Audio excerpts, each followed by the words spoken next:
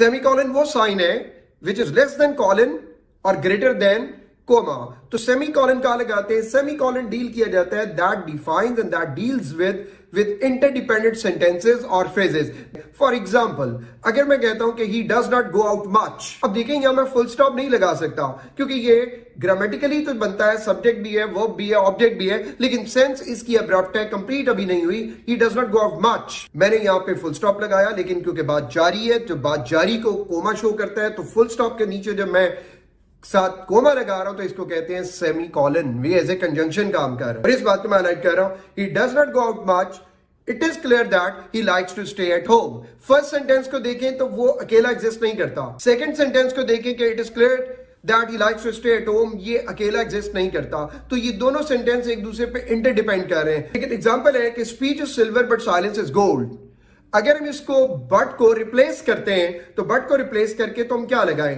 ये अगर क्या हम यहाँ पे फुल स्टॉप लगाएँ? नहीं फुल स्टॉप नहीं लगेगा दो सेंटेंसेस को जोड़ने के लिए। क्या हम यहाँ पे सेमी कॉलन लगाएँ? क्या हम यहाँ पे कोमा लगाएँ? कोमा भी नहीं लगेगा। तो ऑड मैन आउट में ये चीज़ें निकल जाएँगी तो हमारे पास चॉइस होगी इधर कॉलन और सेमी कॉलन तो यहाँ पे देखें कि हमने कॉलन लगाया speech is silver but silence is gold